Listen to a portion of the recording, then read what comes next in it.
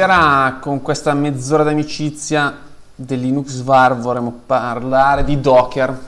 Esistono una serie di, di, di cose già interessanti, già ben fatte su internet, e magari meglio anche di quelle che andrò a dire io.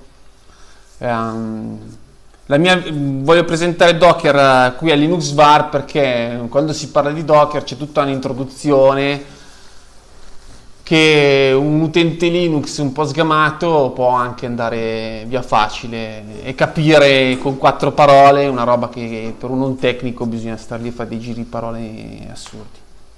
Docker è nato quattro anni fa, è uno strumento per fare eh, più o meno virtualizzazione di processi. E, um, si basa, uno dei motti di Docker è build, ship, run, che andiamo a vedere dopo. Ehm, si usa per creare degli ambienti che sono molto efficienti, molto eh, isolati l'uno tra l'altro, replicabili, di, hanno introdotto una serie di, di innovazioni in generale e poi hanno comunque reso altri strumenti che erano un po' più difficili come configuration management un po' quasi obsoleti. In questa introduzione dirò una serie di cose un po' mm, eh, borderline, nel senso scorrette, che però per semplificare diciamo non sto andando troppo per il sottile. Ok. Si parte da delle definizioni, no? che, eh, perché è importante prima di capire, soprattutto per noi che siamo utenti Linux da tanti anni, prima di capire come si fa nella pratica, capire che cosa c'è sotto. Quindi questa è una definizione del sito dell'Arch Linux, eh, sotto l'ho, l'ho tradotta io, comunque Linux Container sono una virtualizzazione a livello di sistema operativo per far funzionare diversi sistemi Linux isolati in, su un singolo host non produce una macchina virtuale ma un environment che è dotato di una propria CPU, memoria, blocchi, rete, eccetera. Quindi è un sistema di virtualizzazione, però um, non è come gli altri tipi di virtualizzazioni che sono stati anche presentati in altre mezz'ore, eh, una virtualizzazione che si basa su un hypervisor, ma chi fa un po' da padrone è il sistema operativo. Quindi in, tipicamente una virtualizzazione avrai un sistema isolato, e un altro sistema isolato che girano all'interno dello stesso host fisico. Chi governa il tutto di solito è l'hypervisor. Quindi stiamo parlando di VirtualBox, apri VirtualBox, 10 macchine virtuali VirtualBox sopra lo stesso host fisico e VirtualBox stesso fa, è l'hypervisor che tiene in piedi il tutto. In questo caso si cerca di eh, virtualizzare però utilizzando non un hypervisor ma il kernel stesso per virtualizzare. Questa è un po' la definizione generica di Linux Containers. Tra cui Linux Containers ci sono n implementazioni, tra cui c'è Docker, che andiamo a vedere dopo. Eh, questa è una definizione del sito Wikipedia, che è abbastanza simile. Docker è una tecnologia che fornisce container promossa da Docker Inc., una società, fornisce un livello di astrazione e automazione a livello di sistema operativo sia per Windows che per Linux. L'isolamento delle risorse tramite alcuni feature del kernel Linux come cgroups e namespace e un file system di unione come overlay FS. Ah, sul file system di unione perché serve stasera penso se vogliamo. Eh, comunque la parte Windows ovviamente non ci interessa, che si fotta. E, la parte di astrazione e automazione del sistema operativo, eh, la, la, l'astrazione a livello di sistema operativo, qua intesi in senso stretto, quindi di kernel, cioè per far girare Docker serve il kernel dal, se non sbaglio, tra 10 in poi. Comunque un kernel relativamente recente, se avete un kernel 4 va sicuramente bene. E iniziate a dire che è a livello del sistema operativo. Poi vabbè, promossa da Docker Inc., la società, va bene. Eh, ah, e poi mi sono dimenticato, qui ho messo il, lo stemmino, il logo del, del LuxVar. Quando c'è una stellina, una, una, una sola, un solo logo è una roba facile che dovrebbe venire, dovremmo andare a casa con quel concetto chiaro stasera. Poi ci sono i vari livelli, due, due aerei, tre aerei, quattro aerei, fin quando poi 5 aerei vuol dire che è una roba che faccio di lavoro, quindi magari una persona che già qualche anno che è dietro su sta cosa, quindi non è argomento di stasera, però è giusto per parlarne. Quindi in brevissimo, eh, quello che è stato Docker 1.0, quindi appena uscito Docker, adesso ovviamente c'è dentro un sacco di, di funzionalità, eh, quindi sarebbe un... Io l'ho capita così, nel senso che eh, una check root eh, che esiste da un milione di anni, più o meno avrà la mia età, la check root, un file system di unione, un file system di unione vuol dire che io ho tre directory, ne sommo un'altra e ho quattro directory, quindi mergio due directory in sostanza, e un daemon è un tool di gestione.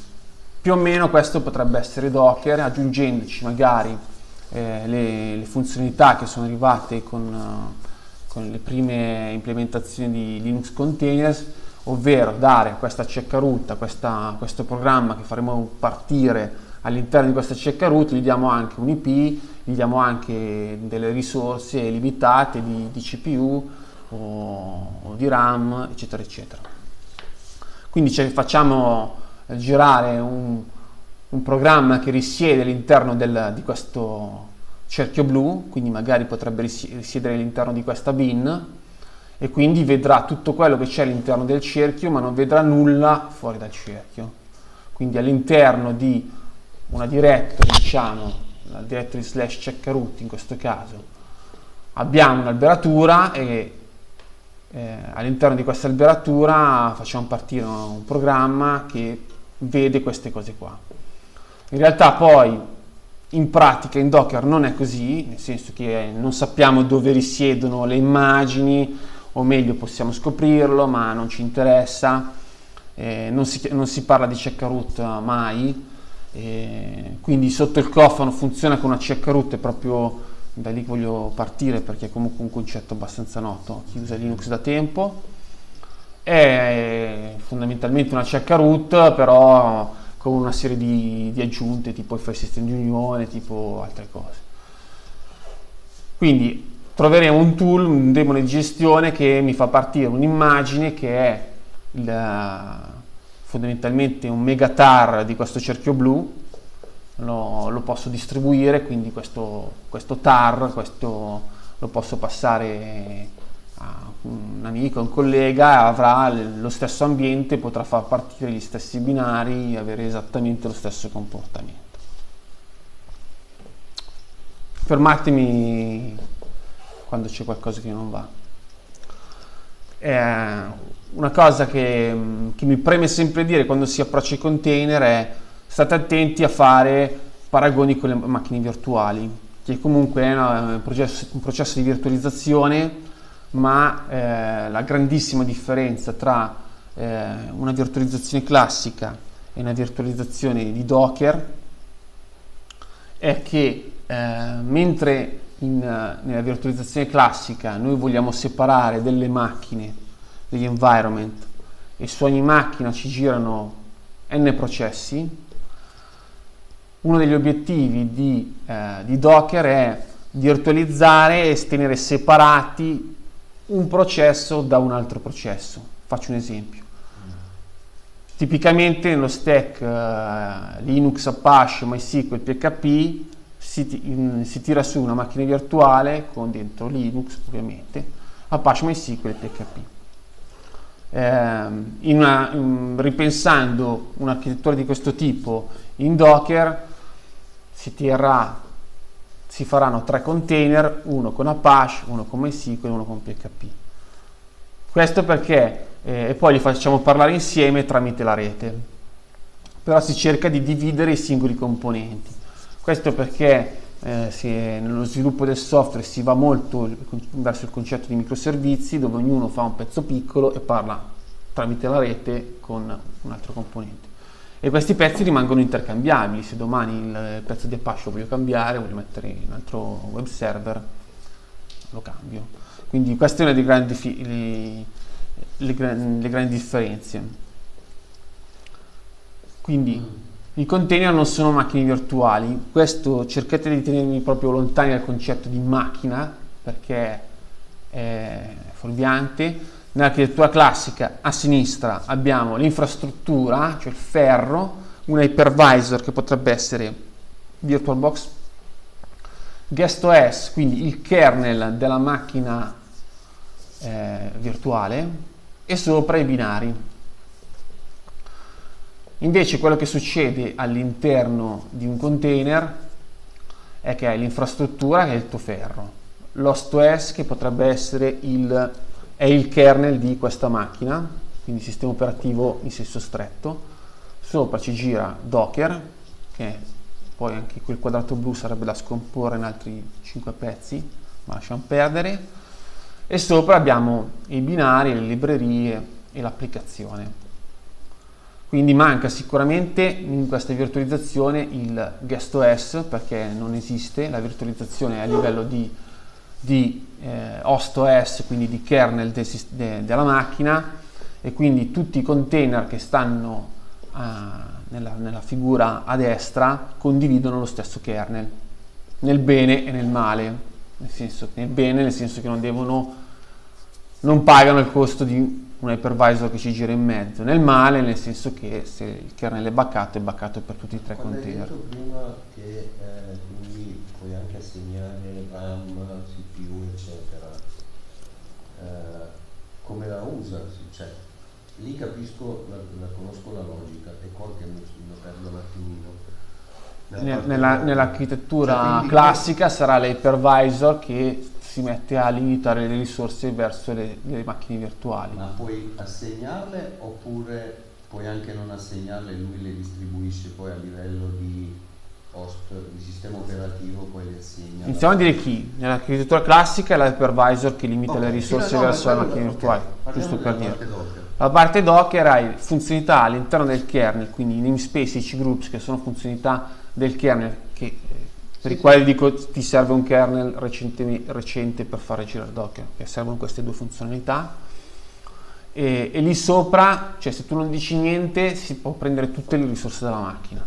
Okay se tu limiti, limiti dirai può prendere massimo un giga di RAM e a un giga di RAM il kernel taglierà, eh, taglierà fondamentalmente ammazzerà il container perché sta utilizzando troppa, troppa RAM. Quindi è proprio una funzionalità del kernel, appena picchi sul limite e lui sega eh, il container. Ah, quindi lavora sul concetto di limitazione delle risorse hardware sì, adesso io questo, eh, questa, in questa mezz'ora non, non, parleremo delle risorse perché lasciamo no, tutto no, aperto.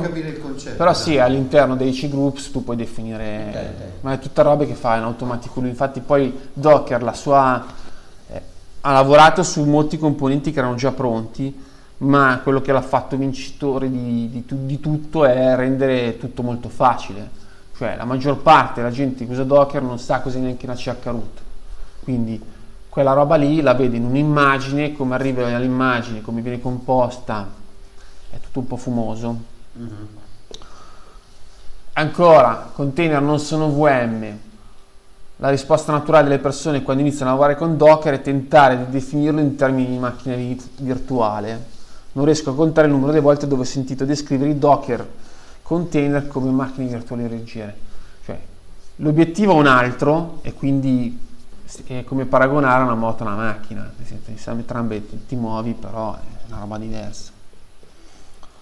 Ancora, macchina Docker, butta il container, ributta il container, parte l'immagine, sono tutte le definizioni sbagliate. Soprattutto, abilitare il servizio di qualcosa è una roba che non ha senso perché quando parte un, un qualsiasi computer Linux, parte il kernel, il kernel fa partire l'init system, fa partire il systemd di turno, alza le mani, a quel punto systemd tirerà su i vari componenti che sono abilitati al boot. Tutta questa cosa non esiste perché non esiste l'init alla, cioè nella, in Docker tu tiri su un processo, che è già il processo finale, tiri su direttamente Apache, tiri su direttamente Nginx, tiri su il tuo applicativo, ma non tiri su, non è un, un init system sotto, non è un processo che governa tutti gli altri processi. Il governatore è Docker stesso. E via. Quindi un po' il paragone che si fa tra virtual machine e container è tra villetta e eh, gli appartamenti, no? E ci, ci sta, gli appartamenti offrono protezione all'esterno ma sono costruiti su un'infrastruttura condivisa che potrebbe essere il kernel. E quindi eh, questo dà una serie di vantaggi, per esempio il fatto che puoi muoverti da un appartamento all'altro più, più semplicemente, che compri l'appartamento grosso esattamente quanto ti serve, non eh, magari compri una villa e quindi stai un po' più largo perché l'acquisto della vita. È la stessa cosa tra macchine virtuali e container. Macchine virtuali spesso sono inutilizzate o comunque sovradimensionate, invece i container essendo più piccoli, essendo studiati eh, più effimeri che si possono buttare via, rifare, sono più usa e getta. Insomma, il paragone regge abbastanza. Giochiamoci un po'. Eh, quattro definizioni. Docker image è l'immagine che fondamentalmente è un tar di una, un pezzo di un file system più un po' di metadati che posso condividere con, con chi ho voglia. Un container è un'immagine che prende vita, quindi prendo l'immagine Nginx e la faccio partire, un'immagine Apache e la faccio partire. In questo momento l'immagine prende vita e quindi diciamo che un programma sta a un processo come un, un'immagine sta a un container. Quindi l'immagine, una serie di dati buttati lì, un container è quella stessa immagine che inizia ad avere un suo indirizzo IP, avere una, una sua quantità di RAM che può utilizzare, un po' di CPU, eh, una, prende vita e fa quello che deve fare. Il Docker Engine è invece eh, chi governa tutto, quindi eh, il demone che governa il tutto, che crea, eh, che crea um, ship, eh, spedisce, grazie, e, fa girare containers eh, deployabili sul fisico, sul virtuale. E poi c'è il registry service, che quello pubblico è il Docker Hub, se no si può creare un, un proprio registro privato, che in sostanza è dove metto le immagini, è il repository delle immagini. Quindi io faccio un'immagine, devo condividere con Ross, la dovrò mettere da qualche parte. E quindi questo la pusherò in un registry, in modo che lui può servirsene. Ok, come si installa? Si può installare da apt-get, install, eccetera, eccetera, però di solito eh, Docker sta galoppando, quindi si, spesso si, si, rischia di installare roba già vecchia.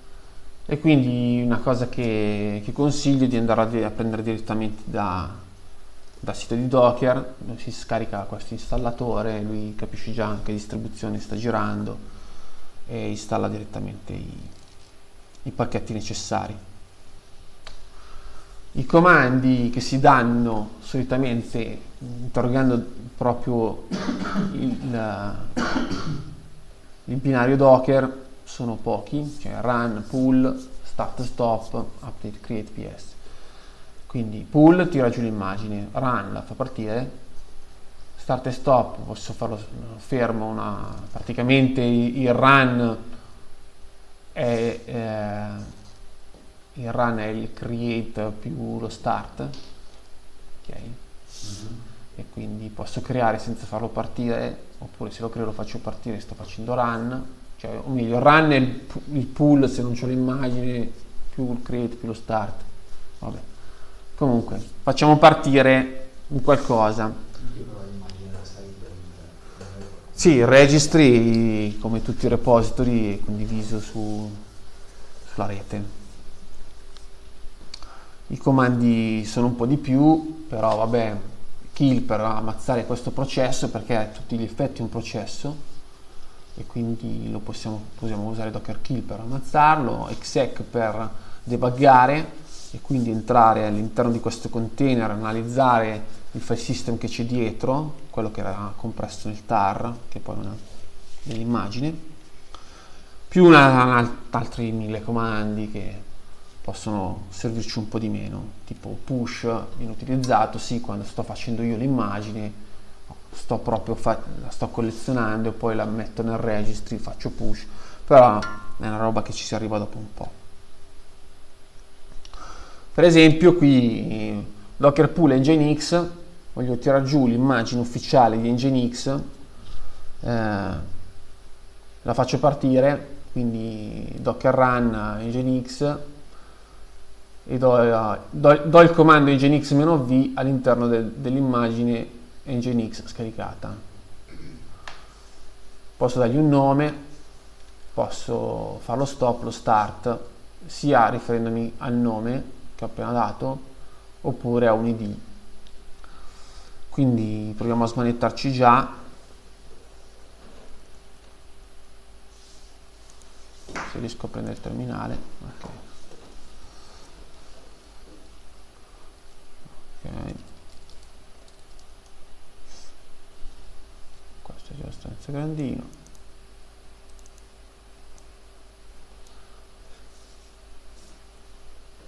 questo guardando là lo so solo io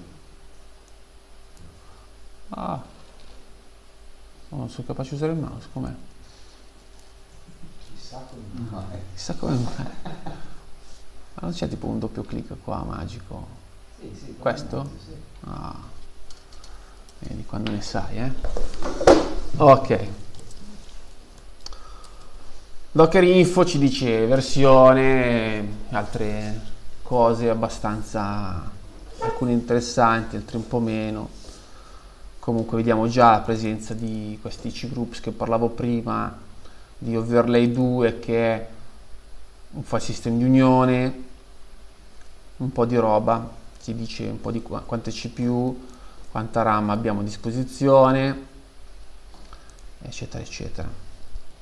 Docker Images ci dirà quali sono le immagini disponibili su questo sistema, quindi sono immagini che ho scaricato e ho all'interno di questo PC. Ehm, Docker Search farà, mi mh, permetterà di cercare all'interno eh, di default nel, nel, nel, Docker Hub, cioè nel, nel registry, quello pubblico dove tutti possono andrò a cercare Apache, facciamo. E troverò sia, sia, sia, sia, sia quel che sia, ho sbagliato.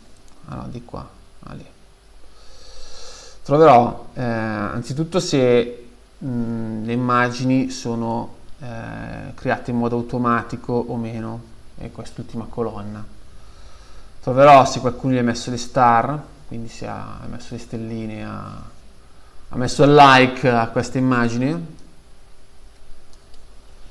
ok ehm, dove non c'è un namespace, quindi non c'è qualcosa slash, vuol dire che un, eh, sono immagini ufficiali, quindi questa qua sarà l'immagine ufficiale di HTTPD, quindi supportata a pieno dalla community di, di Apache.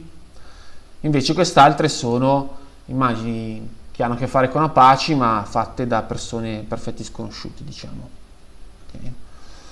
Prendiamo quella di Nginx, che è comunque un web server. Anche qui avremo l'official build of Nginx qua sopra con il nome Nginx, star ufficiale, non è, non è una build automatica e poi troviamo altri contributi, per esempio di chi ha voluto mettere Drupal e Nginx insieme questa persona Wadby che avrà fatto una sua build personalissima e l'avrà pushata nel, nel registro pubblico. Cosa succede? Che noi andiamo a provare a fare Docker Pool Nginx. Di default prenderà l'ultima versione ok e quindi si va a scaricare questa immagine che è fatta, è composta a strati.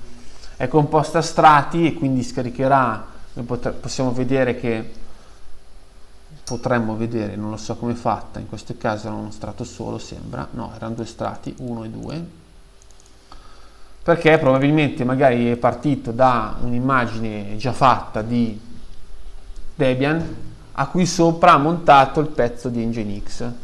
Se io riparto da questa immagine, parto da, dall'immagine di Nginx e gli monto sopra un mio file index.html e a questo punto gli strati sono tre. Se poi arriva ROS che deriva dalla mia immagine, gli strati diventano 4. Ma in realtà ogni, ogni aggiunta alla, a questa immagine da cui siamo partiti diventa uno strato e il file system di unione è quello che tiene insieme il tutto, nel senso che fa il merge di questi 10 file system, 10 pezzi di alberatura, li mette insieme e fa il risultato finale che è quel cerchio blu che abbiamo visto prima. Quindi è per quello che non esiste mai eh, una directory dove entri tutta la tua alberatura, almeno se non vai proprio a cercartela. Eh, però a livello a livello di...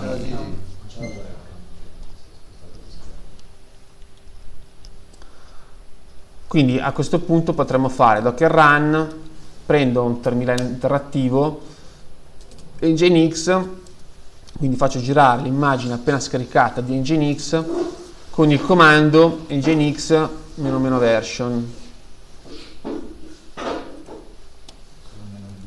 che è solo meno "-v" e quindi lui mi dirà guarda la versione di Nginx in questa immagine è Nginx 1.13.10 quindi io eh, l'attenzione è spostata molto più sull'applicativo cioè non so questo Nginx come è stato compilato se viene da un pacchetto non viene da un pacchetto se è compilato statico se è basato su Debian su Ubuntu su CentOS su Red Hat non lo so quindi a me interessa che fa funzionare Nginx, che è un web, una, un web server. Quindi tutto il resto mi interessa sapere la versione, magari le funzionalità che ha questo applicativo, ma non la parte tra virgolette noiosa, sapere se, se gira su un file system derivato da Debian o derivato da CentOS, se non serve il mio applicativo posso anche ignorarlo.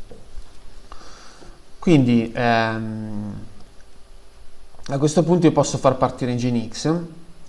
Eh, il problema è che Nginx è un web server, quindi non vedrò niente in console, quindi mi serve rimappare la porta 8080 fuori verso l'80 dentro, in modo che quando, mm, quando lo faccio partire, mm,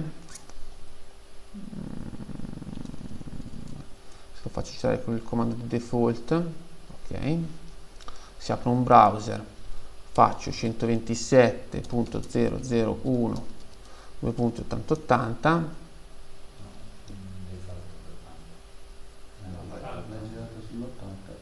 Ah, l'8080 del mio, del mio programma.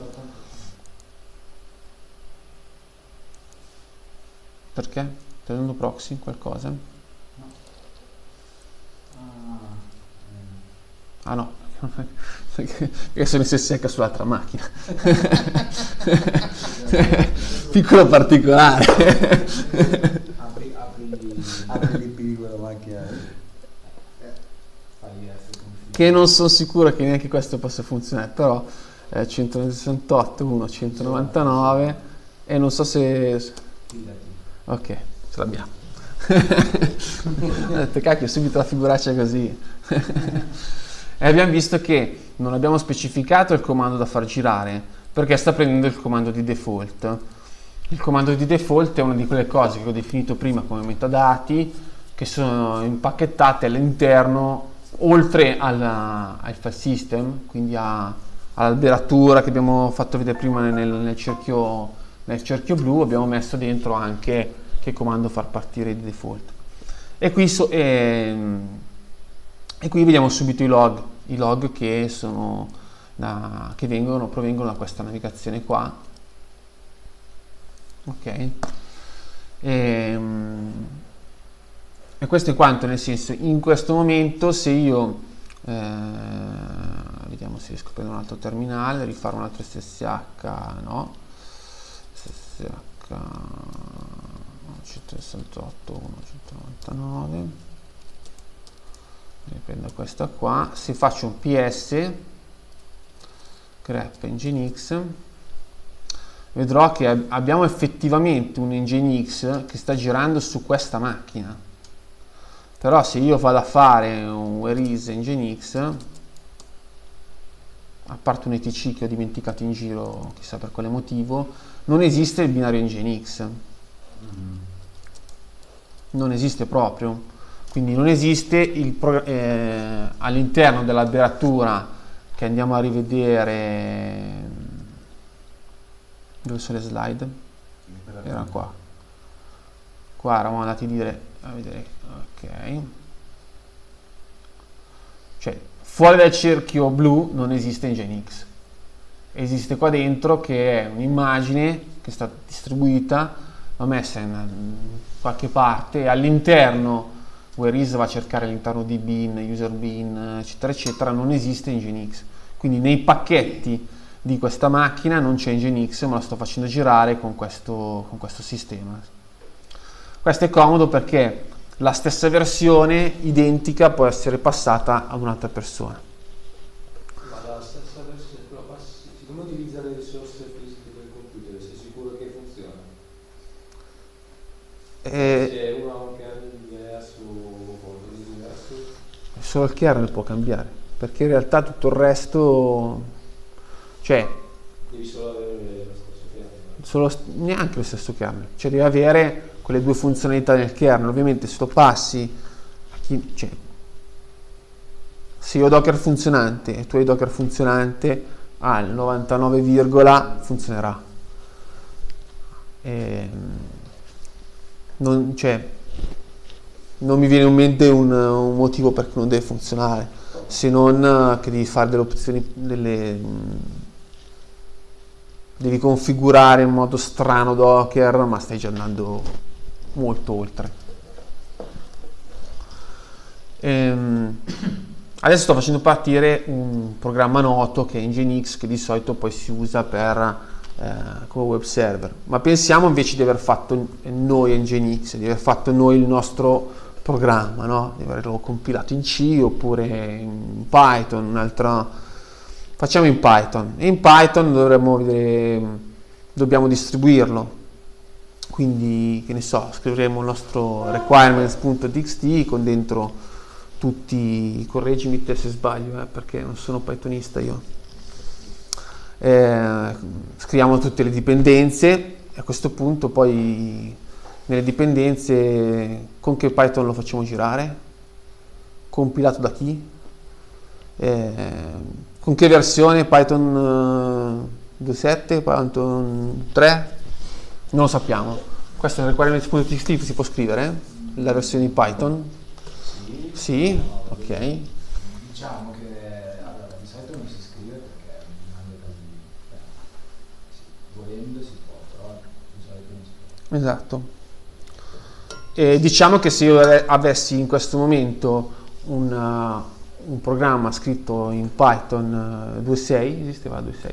Mi sembra di sì, sarebbe decisamente un casino farlo girare, perché nelle nostre distribuzioni non c'è più e non è penso neanche installabile. E... Scusa? Okay. Difficilmente installabile, poi si può fare tutto.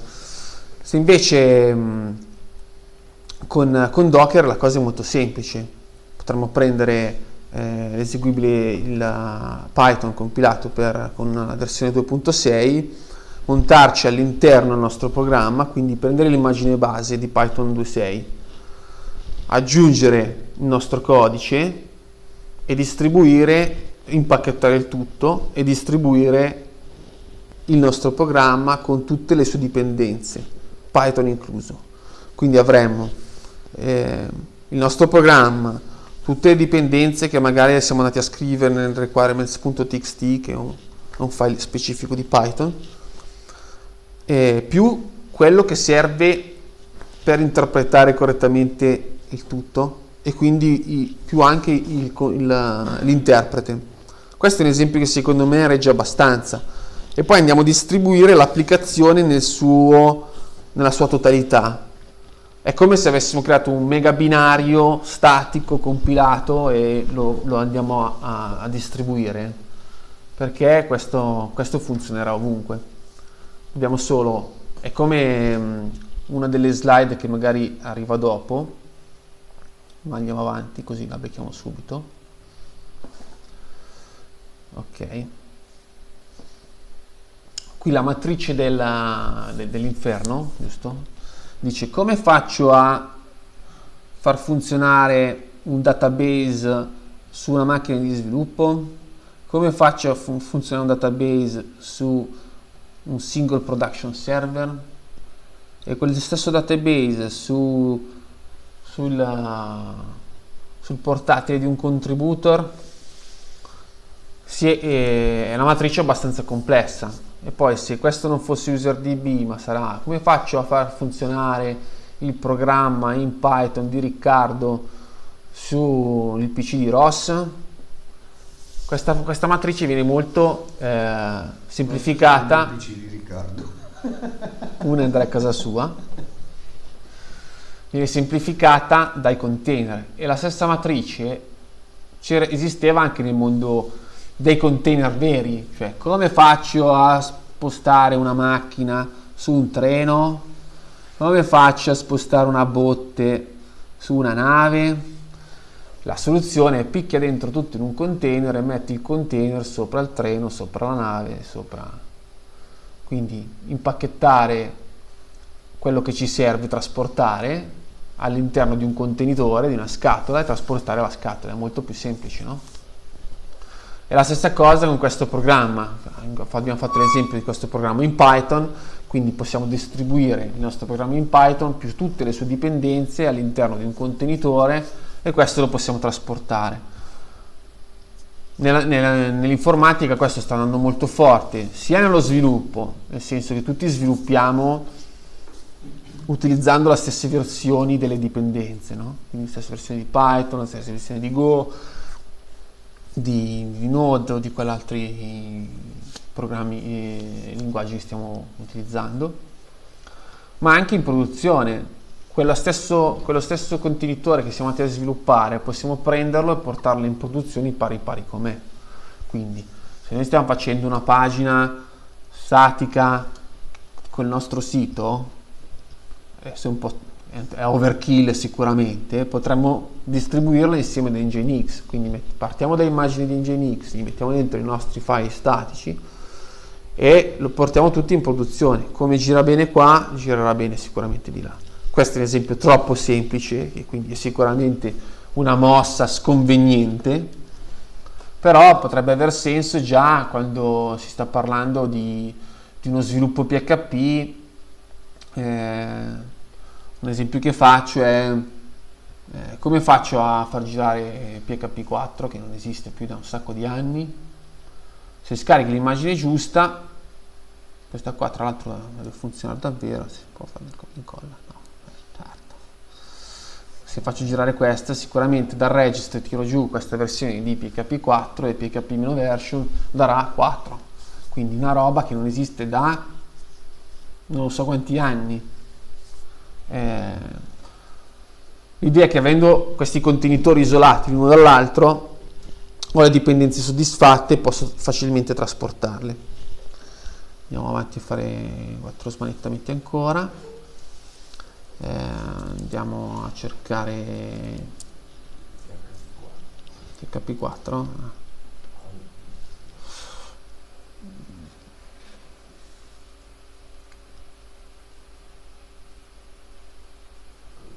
Mamma mia. Babba mia. Facciamo docker pull di questa immagine.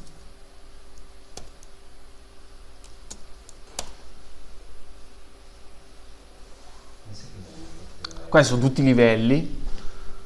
Ogni, ogni livello è un comando che è stato fatto per fare la build dell'immagine, andiamo a vederli dopo. Comunque il concetto è abbastanza semplice i livelli mamma mia mi beccherò alla fine serata ce la faccio a, a prendere possesso di questo computer i livelli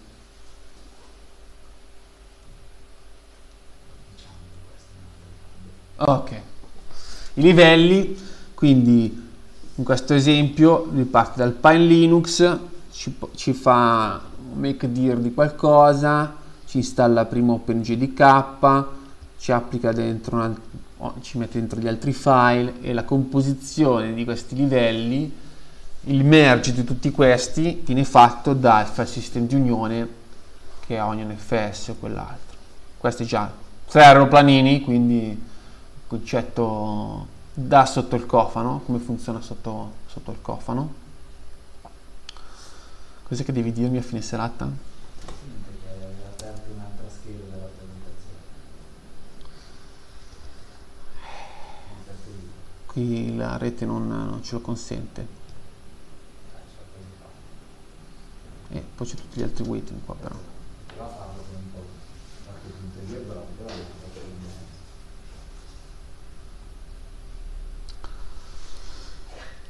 Io prenderei già un'altra immagine perché? Eh, tanto ne ho.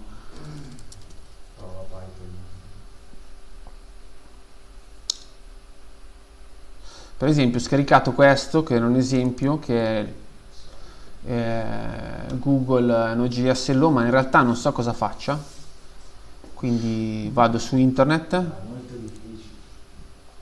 Farà nel Word immagino Quindi come ti viene?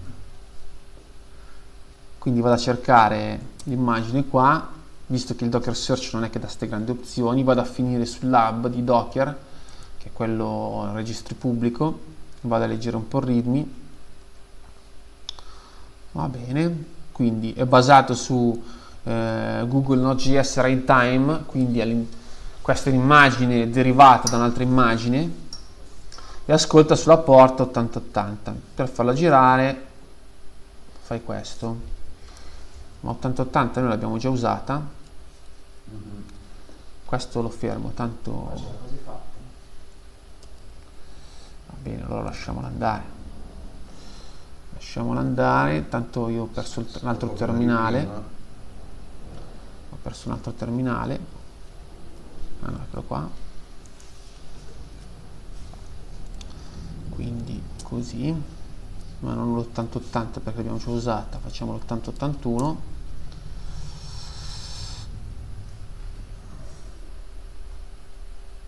Non la devi più scaricare.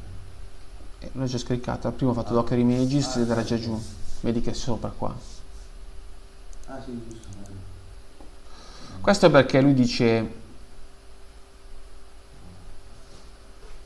no questo non l'ho capito dice questo E probabilmente si sono dimenticati i comandi. Ehm, di solito quando è così deve prendere il comando di default. Il comando di default io potrei fare docker inspect che ti fa vedere com'è che è stata fatta questa immagine. Ho scritto inspect, ok. Qui dentro ci dovrebbe essere cmd che è il comando di default, che in questo caso però non è valorizzato. Strano. Cioè, questo, questo readme è sbagliato allora. Stai dicendo questo? Che Google sbaglia? Non l'avrei mai, oh, non la- non l'avrei mai detto. Vedi?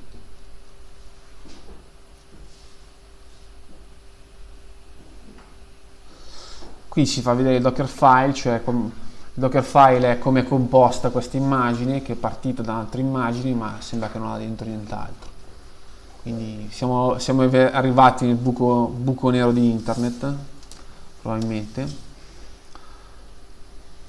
L'immagine che abbiamo scaricato prima la facciamo partire, quindi facciamo run, ehm, facciamo terminale interattivo eh, e il comando che diamo è php-version.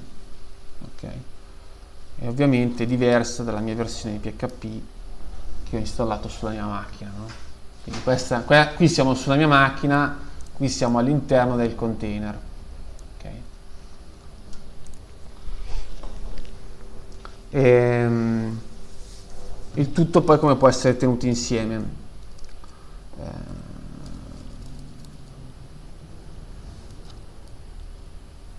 ok. Il Dockerfile cioè come, come, come facciamo un'immagine. L'immagine di si fa da, eh, partendo da un'immagine già fatta, quindi in questo caso io parto da PHP alla versione 7.2 con a, a bordo anche Apache, eh, dichiaro che sono il maintainer di questo pacchetto, questi sono tutti i metad- metadati che verranno impacchettati, aggiungo il file index.php che c'è in questa directory all'interno del container nella var vhtml del container poi inizio, visto che so che questa versione è basata su Debian, perché sono andato a leggere il Dockerfile, posso anche installarci qualcos'altro che serve a, al mio applicativo finto. In questo caso installo VM, anche se all'interno del container di solito non si trova niente, cioè non è come l'installazione base di un qualsiasi distro, non c'è praticamente nulla. Ci sono container dove, immagini dove non, sono, non c'è neanche la bash quindi c'è SH oppure a volte non c'è neanche quello. Eh, quindi è il minimo indispensabile per far girare l'applicativo. Quindi faccio finta in questo caso di aver bisogno di questo, questo tool per il mio fantomatico applicativo e poi per fare una build faccio docker build eh, faccio meno tag eh, linux var eh, slash mezz'ora docker. Punto. Ok. Ha fatto la build l'ha fatta un po' in fretta perché era già fatta in sostanza l'avevo già provata.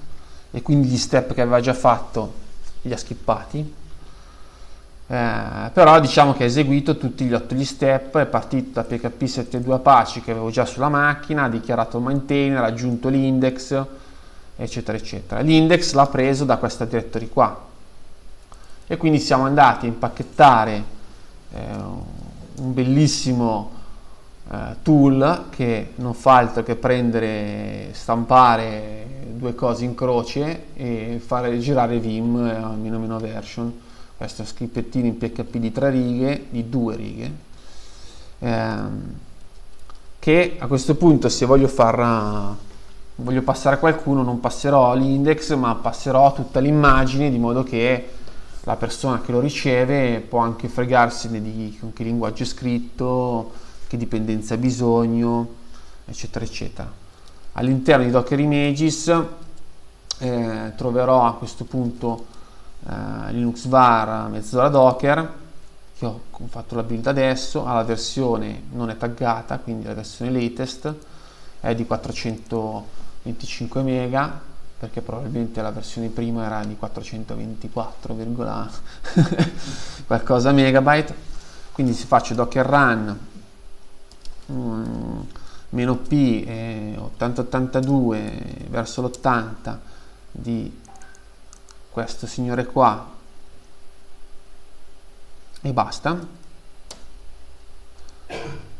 Parte Apache inizia a scrivere qualcosa eh, in standard output e poi io vado a prendere questa l'8082 ok? E vedo quello la seconda riga nel senso qui ho un file php che chiama vim perché l'ho dichiarato come dipendenza e mi dice solamente in che versione fa Vim v9 version. Eh, questo perché volevo far vedere un'altra roba che all'interno del, di questo script io vado a prendere una variabile d'ambiente che posso valorizzare da Docker stesso. Quindi faccio e mezz'ora eh, uguale run ok caricando va, questa, questa variabile d'ambiente è stata passata all'interno dell'applicativo e l'applicativo la sta utilizzando. Purtroppo bisogna lavorare un po' di immaginazione perché l'esempio è, è altamente stupido cioè, e quindi cioè, eh, si parla di un file PHP che potrebbe essere tutto molto più semplice se passo queste tre righe di PHP a qualcun altro però facciamo finta e immaginiamo che questo fosse un programma difficilissimo da compilare, che ha bisogno di 60.000 dipendenze e io posso partire da una, una base quindi un'immagine fatta da un'altra persona, oppure partire da un tar, da un debootstrap ancora in modo più grezzo, e impacchettare il tutto perché possa essere trasportato altrove e fatto funzionare là. Que tutto sto pippone perché in generale nel mondo del software è, è, è, difficile uno replicare altrove le cose cioè sul mio funziona è un po' classico no? sul mio funzionava e sul tuo non funziona non so cosa farci e questo parte dalla stessa posizione comune nel senso tutti quelli che fanno girare Linux VAR e Zora Docker utilizzeranno l'HTTPD esattamente quel binario. Quindi non stiamo parlando di più o meno la stessa versione o la stessa versione ma stiamo parlando dello stesso binario all'MD5 proprio identico. E quindi puoi trasportare le cose molto molto molto molto più semplici. Secondo avendo ambienti completamente isolati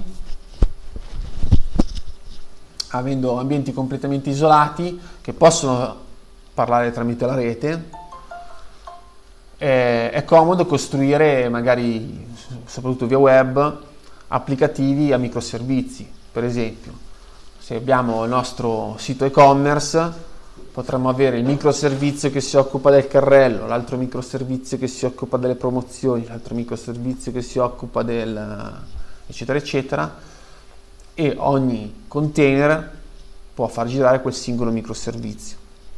Questa è un po' la tendenza negli ultimi anni dello sviluppo.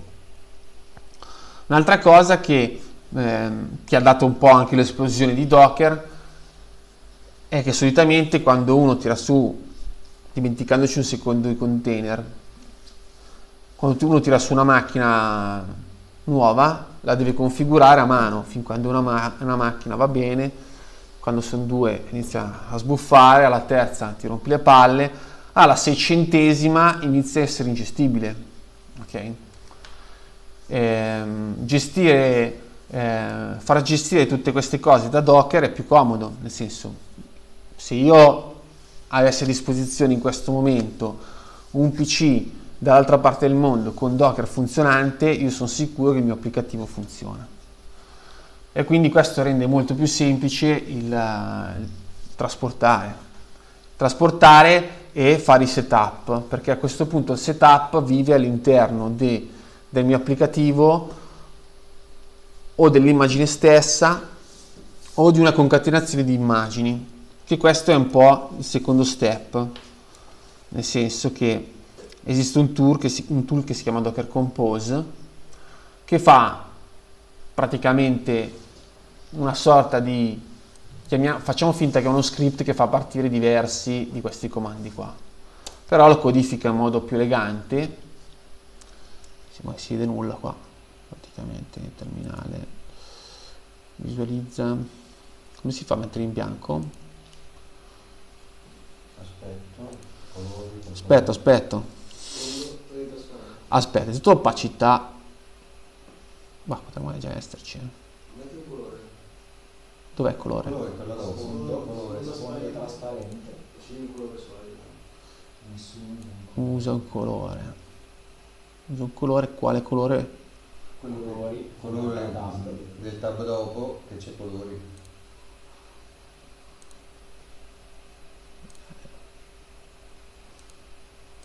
Operazione difficilissima. Ah. Ah. Ho, usato, ho usato ben quattro volte il mouse stasera. Ok. In questo caso, per esempio, abbiamo tre servizi, Apache, MinCashD e Mail, quindi uno che fa girare PHP con un mio applicativo, l'altro che serve per fare cache in un determinato modo e l'altro per spedire le mail, che possono essere tre componenti che devono vivere insieme. Questo Docker Compose si occupa di tenere insieme tutti e tre i pezzi, evitando di scrivere uno script .bash che portiamo in giro, che è quello che si faceva esattamente al giorno zero di quando è uscito Docker. Questo permette che io ti passo questo file e tu non fai più né meno di fare docker compose app e mm, lui va a leggere questo docker compose.yml e tira su tutti i container, tu, ti, si occupa di scaricare le immagini che non ho e di far partire i container che sono necessari. Quindi fa tutto lui. E, e questo è ancora comodo perché abbiamo codificato all'interno di un file tutto, tutte le dipendenze. Abbiamo per esempio, prima abbiamo usato meno "-p" e questo lo possiamo codificare qui, ports 8080-2.80, che vuol dire mappa l'8080 dell'host. Andiamolo un secondo, facciamo 8083, ok. Eh, restart always vuol dire quando, quando muore farne partire un'altra, abbiamo specificato un environment, abbiamo portato i volumi, nel senso si può portare una directory dell'host all'interno del container. Questo è utile per avere persistenza, per uh, poter permettere all'applicativo di scrivere qualcosa che poi permane, però diciamo che è un discorso che si allunga un po', quindi lo abbandoniamo stasera. Quindi a questo punto se faccio docker compose app, lui tirerà su all'8083 una Apache che farà girare questo index.php. Sono due approcci diversi. Da una parte nel Dockerfile ho fatto una build di un'immagine in queste immagini gli ho messo dentro il mio file PHP. Nel secondo approccio, che è un po' da system container, sto tirando su Apache e, a, e gli monto un volume sotto. Sono già due co concetti da 4 stellette, eh, quindi 80-83 abbiamo detto. Ok, mi fa vedere amicizia, che sarà No, perché esatto. La, la, stringa. Esatto. E questa la differenza è che in questo Docker Compose io sto partendo dalla, dalla versione base che non ha VIM all'interno. E quindi questo non lo vedo ma sta fallendo. Perché è una dipendenza che non ho messo dentro. Mm-hmm. Riprendiamo un po' le slide. Domande? Ok. Io un paio di domande ce l'ho. Vai. Ad esempio, gli snapshot che si fanno nella macchina virtuale. Ah, il concetto nei container è che tutto è, è effimero. Quindi tutto quello che, fai me, che, me, che c'è all'interno di un container teoricamente lo puoi buttare via subito. Okay. Se ti passo nello Word, tu di questo hello world non devi farci nulla cioè non devi backupparlo. Ok, esatto. Sei arrivato su un database, però tipo se ti passo un hello world siamo entrambi possiamo buttare via tutto, no? Perché tanto quello che ci serve è già dentro nell'immagine. Per fare quello che è la persistenza, quindi questi dati devono essere, eh, devono, cioè l'applicativo in questo caso database, tu hai detto, deve scrivere i dati, questi dati devono rimanere da qualche parte. Questo è un problema in generale e mm, la, ci può arrivare in questo momento solo con i volumi, nel senso, abbiamo detto prima che tu puoi montare un volume, come ho fatto adesso, un volume dell'host, lo, lo porti, una directory dell'host, definita come volume, lo porti all'interno del container. Se parliamo di MySQL, per fare un esempio che magari MySQL scrive i suoi file in var lib MySQL. Quindi noi potremmo portare questa directory, la home Gianni, eh, Docker environment Linux var amicizia, quel che è, la portiamo in var lib MySQL. Quando il container andrà a scrivere in var lib MySQL, in realtà andrà a scrivere in una directory che sopravvive anche quando il container viene ammazzato o viene distrutto. Proviamo. Proviamo sul pratico.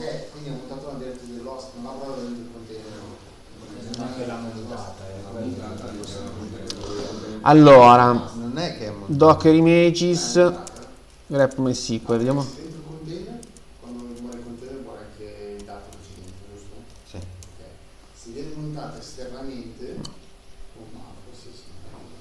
È un mount in sostanza. Cioè, quello che, che succede sotto il cofano è mount meno obbind, quindi por- lo porta dentro. Ehm, facciamo un'altra cosa. Ehm, abbiamo detto eh, docker meno compose app. Tiriamo su un container. Questi container qua che abbiamo visto prima. Docker PS mi fa vedere quali sono i container che stanno girando. Okay. Quindi mi posso riferire al primo container sia con l'id sia con il nome perché gli abbiamo dato un nome visto che il secondo mi piace un po' di più, eh, io posso anche andare a debuggarlo. Quando si va a debuggare è sempre lì, attenzione, questa è una macchina virtuale, il suo scopo non è eseguire una bash, ma è eseguire Apache o HTTPD o quello che è, quindi sempre a prendere con le pinze il docker exec perché vuol dire proprio stiamo debuggando. Quindi qua dentro io posso eseguire una bash. No, non, ho, ho, incollato una roba che non c'entrava niente volevo incollare questo ok sono all'interno del container nella var www.html e all'interno facciamo finta che sono all'interno del mio applicativo il mio applicativo scriverà eh, linuxvar.txt esco dal container esco da molti debug in questo container qua e nella directory dell'host questo file me lo trovo. Lo vedi? Perché? Perché all'interno del Docker Compose io ho dichiarato che il volume, punto, il volume questo, di questa directory, va in var www.html. Quindi ho dato persistenza alla cosa così. Come fare a quel punto snapshot dei dati, backup dei dati, non è un problema di Docker, è un problema che va affrontato in maniera classica come sia stato fatto fino adesso. Diciamo che il container come, come è fatto è, è fatto per essere buttato via. Mentre magari una snapshot di una macchina virtuale non solo è la fotografia del disco, ma potrebbe essere anche la fotografia della RAM in quel momento, eh, il processo si dà per buono che gli puoi sparare in testa. Quindi alcuni, alcune cose, tipicamente database, non sono, cioè metterli in container non è il loro habitat naturale. Ci puoi farlo fai girare, alcuni in produzione, non è il suo habitat migliore. Magari l'Hello World ci sta molto più comodo perché sei sicuro che se gli spari in testa va bene uguale perché è sempre così. Chi fa un calcolo computazionale incredibile che ha bisogno di due numeri e va a cercare il numero primo, probabilmente non ha bisogno magari di persistenza. Non lo so. E là. Ehm, andiamo a finirla qua che è lunga. Docker Compose abbiamo visto, si possono usare anche variabili e tenere tutto in, fuori un altro file. Eh, questi sono i comandi che si possono passare al Docker Compose, che viene insieme il tutto, ma alla fine si usano 4, up, down, eh, run, exec e poco altro. Ok? Quindi se ne usano molti di meno. Questo è un esempio che ho fatto un po' di tempo fa, che secondo me calza abbastanza nel, io stavo compilando Magic Lantern che è un, un tool per um, un firmware alternativo per macchine fotografiche, vabbè, pippone e, e mi ero imbattuto in questa descrizione di come compilare sta roba e non finivi più, diceva scarica questa macchina virtuale che è l'Ubuntu 14 ciupa ciupa, poi stai lì a installarti un milione di dipendenze praticamente era impossibile installare. E, ehm, e qui ho fatto il, il toolchain, quindi sono partito dalla versione i386, perché poi ci voleva la versione i386, non la MD64, di Ubuntu. Ho aggiunto il repo, ho dato questi comandi qua, e il risultato di questo Dockerfile, se tu fai la build ancora oggi, a distanza di anni, ti dà esattamente quello che serviva per compilare questo tool. E questa cosa qua è stata poi distribuita perché essendo eh, l'immagine è, è, proprio pubblica nel, nel Docker Hub, quindi se vado a cercare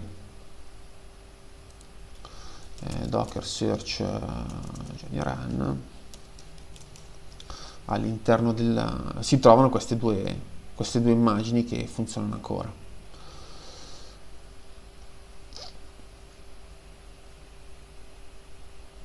quello che ho capito che non sono capace di usare ok l'orchestration invece è una roba da produzione abbastanza legata al mondo web nel senso questi container qua come faccio a, a portarli in produzione se ho 100 ambienti di 100 siti internet diversi che usano altrettanti 100 microservizi come faccio un po' a tenere insieme questa cosa la risposta è l'orchestration che sono eh, c'è per, al momento Swarm che però va un po' nella via dell'obsolescenza, Kubernetes che sta spingendo forte, che sono due, dei, dei tool per orchestrare. Questo è un po' quello che si fa di lavoro, chi, chi fa il mio lavoro, cioè mantenere degli host e i container vanno ovunque e devi, avere un, devi stare lì con la bacchetta magica a, a a sapere eh, dove vanno questi container, dove nascono, dove muoiono, eh, di che cosa hanno bisogno. Quindi questi container non sono più tre container sulla nostra macchina, ma magari sono 200 container su 10 macchine. Dove, dove nascono, dove muoiono, non lo so. Sicuramente si parlano tra di loro tramite reti, già la, la rete interna di Docker che è già prevista, come si parlano già eh, nell'esempio nostro abbiamo fatto Docker Compose App qua, forse già su, no non era su, eh, aspetta ho fatto un casotto.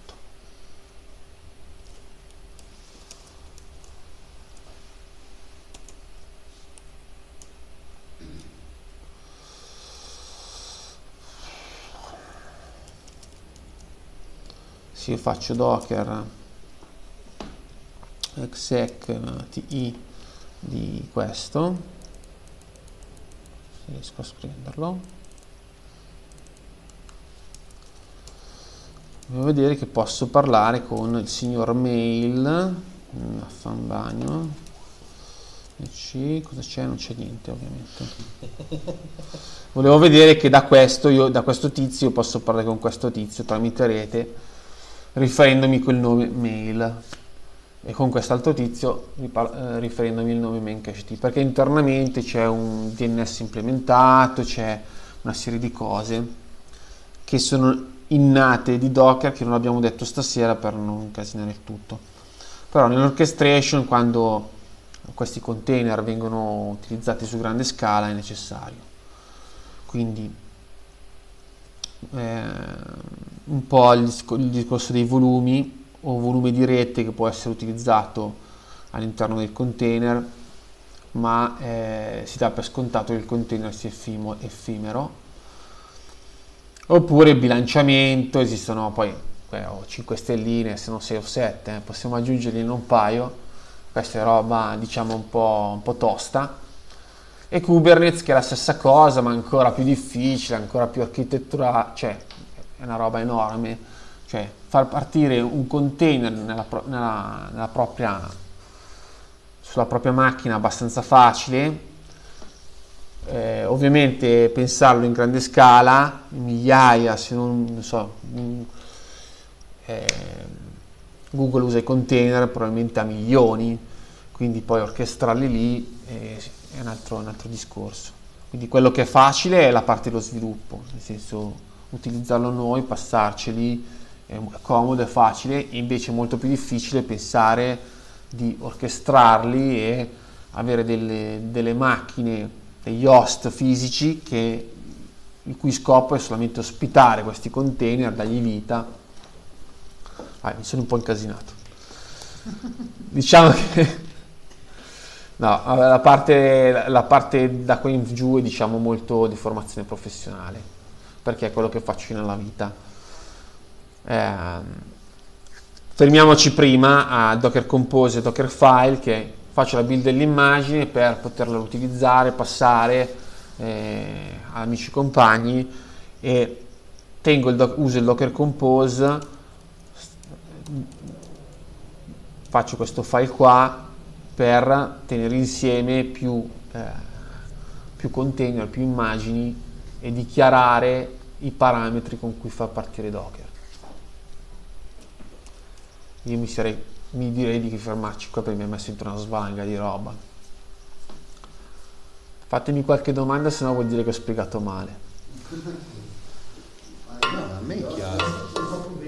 Eh, Quindi gli host docker sono sempre fisici, no, no, sono virtualizzati. certo. Anzi. A quel punto lì tu hai bisogno del kernel, poi dove, dove risiede il kernel non ti interessa. Per esempio, una, una manovra che si fa da una gestione, diciamo, classica, la macchina virtuale, ave- a- supponendo che tu il ferro ce l'hai ugualmente e non vuoi andare in situazione cloud o, o VM gestita da qualcun altro, di solito hai la tua macchina virtuale prima dove mettevi su VMware o SX o boh, qualcos'altro. Ehm, e là sopra ehm, ci facevi le macchine virtuali. A quel punto quando devi aggiornare devi aggiornare la singola macchina aggiorni la singola macchina. Se devi aggiornare invece l'hypervisor aggiorni tutto eccetera, eccetera. Eh, e qui è destinato facciamo che è una macchina che ha un giga di RAM se ogni tua singola, eh, ogni singola macchina virtuale ti necessita 100 megabyte di, di RAM, puoi farne più o meno 10. E poi tutto il resto è un po', come si dice, in overbooking, no? Tipo gli aerei. Questa cosa secondo me è, è molto meglio farla adesso in, in Docker, nel senso tu hai il tuo host, nel tuo host ci metti una Linux qualsiasi e ci fai partire Docker. Là sopra ci fai andare una svalangata di microcontainer, quindi container piccolini che fanno una- un'operazione minima e quindi eh, hai la, la- la facilità nel deployare perché tu prendi questa immagine, la porti di là e la fai partire. Se devi cambiare tutto dall'oggi al domani non è necessario cambiare la- il Docker che c'è sotto, no? semplicemente svuoti tutti i container che stanno girando e gliene metti gli altri. Questa è un po' una delle mosse che si fa. Però sì, l'unico requirement è avere un kernel eh, nuovo e Docker che c'è.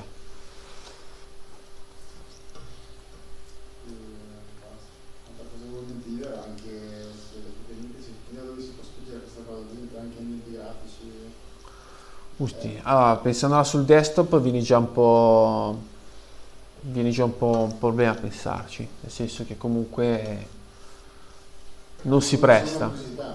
Non si presta, però per esempio a me che non piace installare un milione di dipendenze nel- in generale nella distro eh, e quando vai a installare un binario tipo Skype ti tira dentro l'universo e ancora qualcosina in più, a me piace fare il container con dentro Skype e far girare quello. Quindi dentro di lì ci sarà porcheria nel momento in cui Ma cancelli. adesso usi gli app, image, come si chiama? Quelli che ha fatto Snap. Snap, sai, i container lì che sono la stessa Eh roba, sì, però adesso fatta- hanno un sacco eh, tutto sommato la cosa analoga Vabbè, sì. Sì, analoga uguale. Prima fa, sa, Eh,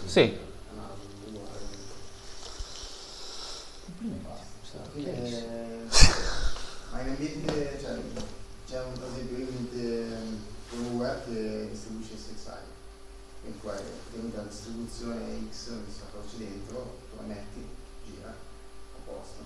C'è l'equivalenza di una cosa più cioè, consigliata già fatta anche tra l'altro. Ecco, cioè tu dici che installo qualcosa sulla macchina fisica e già parte tutto. minimal metto Docker basta Allora. Sì.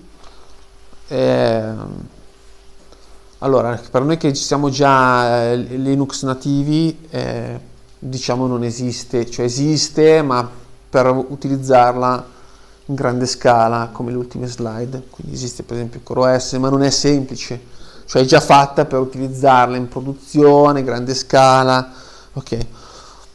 Esiste la possibilità, cioè mh, se uno ha mh, per, per, un utente Linux basta installare una qualsiasi versione di Docker e funziona. Poi difficilmente si avranno, si avranno la necessità di avere una versione nuovissima, si sta iniziando soprattutto, perché da eh, un paio d'anni a questa parte le innovazioni che ci sono sono per portare in produzione, per, cioè non sono per un utilizzo didattico, quindi non, non, trovi grandi differenze. Quindi basta che hai un kernel recente, installi qualsiasi versione di Docker e vieni giù e, e sei a posto. Quindi quei requirementi lì lo puoi soddisfare in qualsiasi modo.